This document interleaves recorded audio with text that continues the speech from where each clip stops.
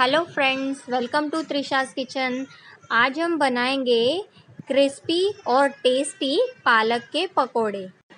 तो चलिए इसे बनाना शुरू करते हैं। यहाँ पर मैंने लिया है 100 ग्राम बेसन। इसमें डाला है स्वाद अनुसार नमक और बेकिंग सोडा दो से तीन पिंच जितना बेकिंग सोडा मैंने इसमें डाला है। अब हम इसे थोड़ा थोड़ा पानी डाल के इसका एक स्मूथ बैटर रेडी करेंगे। इसमें थोड़े भी लम्स नहीं रहने चाहिए। ये देखिए, बहुत ही स्मूथ बैटर बन गया है। हम इसे, हमें थोड़ा सा पतला रखना है। अगर हमारा बैटर ज़्यादा गाढ़ा होगा तो हमारे पकोड़े क्रिस्पी नहीं बनेंगे। तो इसीलिए हमें थोड़ा सा इसे पतला ही रखना है। अब यहाँ पर मैंने तेल गरम कर लिया है। इसमें थोड़ा सा बेसन डाल के देख लेंगे। हमारा ऑयल गरम हुआ या नहीं, देख लीजिए। ये तुरंत ऊपर आ चुका है।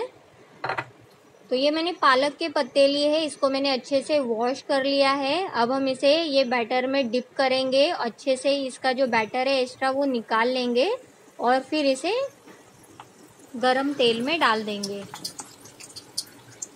तो ये हमारा गैस जो है वो मीडियम टू हाई के बीच में है।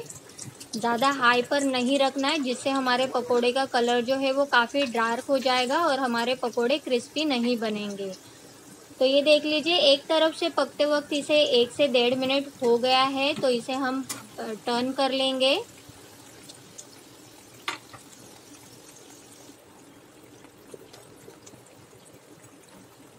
इसे पकाने के लिए हमें लगभग तीन से चार मिनट लग जाते हैं।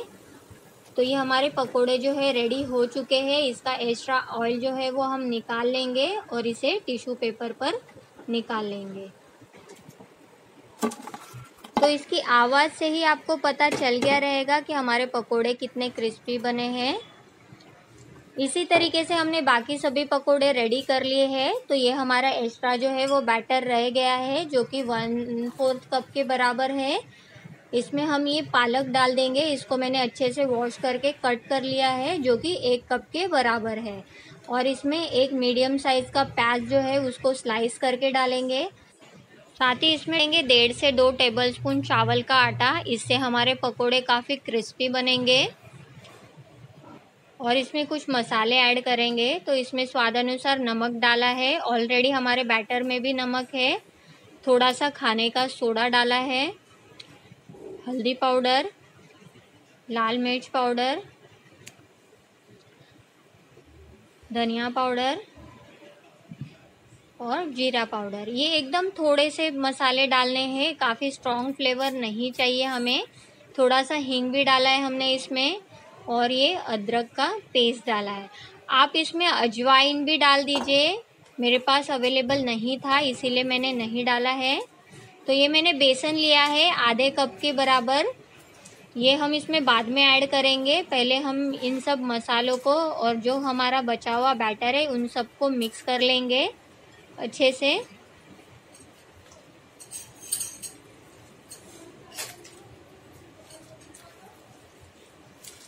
इसे बहुत ही हल्के हाथों से मिक्स करना है। जस्ट इसी तरीके से आप ज़ोर ज़ोर से अगर आप इसे मिक्स करेंगे ना तो इसका जो क्रंचीनेस है, वो नहीं रहेगा।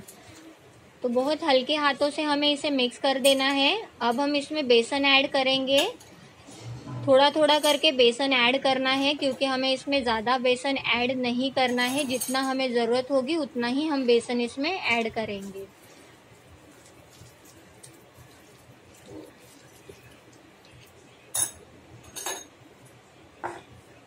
तो ये देख लीजिए, जितना बेसन हमने लिया था, ये लगभग पाँच टेबल स्पून जितना बेसन था तो ये पूरा बेसन हमें इस, हमने इसमें ऐड कर दिया है। पालक के पकोड़े बनाते हुए आपको एक चीज़ का ध्यान रखना है। आपको उतना ही बैटर एक बार में लेना है, जितना कि आप दो बैच में फ्राई कर सको। अगर आप ज़्यादा बैटर बना के रखेंगे ना तो ये बैटर को पानी छूटने लगेगा और आपके पकोड़े जो है वो क्रिस्पी नहीं बनेंगे। तो ये देख लीजिए, हमारा बैटर जो है वो रेडी है। ये जो है, हमने ऑयल पहले से गरम कर लिया था। तो ये देखिए, इसी तरीके से हम, जिस तरीके से हम कांदा भजी बनाते हैं, उसी तरीके से हम ये पकोड़े छोड़ेंगे।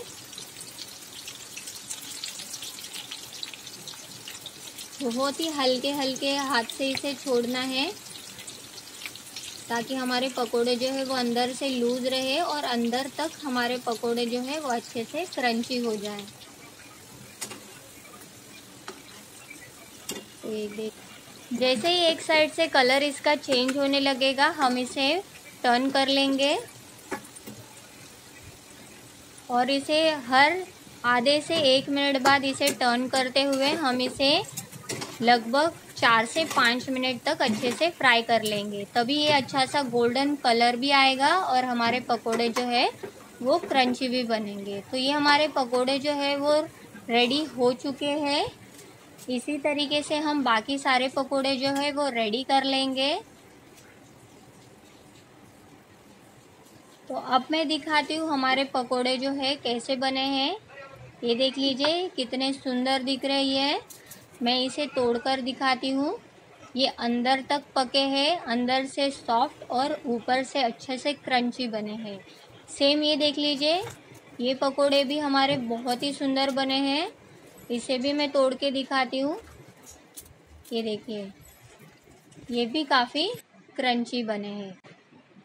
इसी तरीके से आप घर पर भी ट्राई कीजिए। अगर आपको मेरी रेसिपीज़ अच्छी लगती हो तो मेरे रेसिपी को लाइक कीजिए और मेरे चैनल को सब्सक्राइब कीजिए।